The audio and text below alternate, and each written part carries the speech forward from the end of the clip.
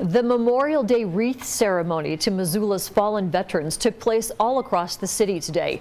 The ceremonies began at 7 this morning, and at 3 p.m., one of the ceremonies took place at Rose Memorial Garden.